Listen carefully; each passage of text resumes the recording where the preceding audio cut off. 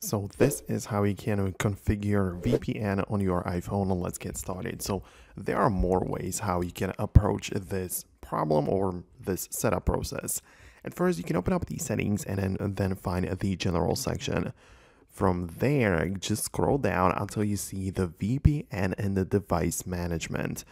And naturally, if you don't have any kind of VPN, it will say not connected, but just click on it and it gives you the button to set up or add a VPN configuration.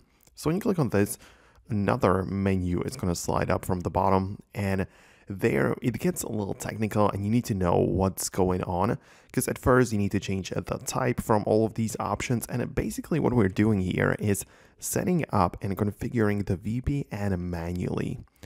I don't think that a lot of people do this, but it is a possibility. So essentially here you pick the type, then description, then you have to type in the server and remote ID. So all of the things which you need to know about that VPN service.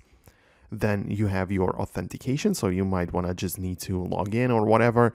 Well, obviously I cannot give you this like info, you need to get it from an actual VPN that you're connected to. So that's how you can configure it manually. But of course, a lot of people instead just get a VPN app from the App Store. They usually pay a subscription and then that app will add this VPN configuration profile directly inside of these settings automatically, right? So you, you just do it with a click of a button.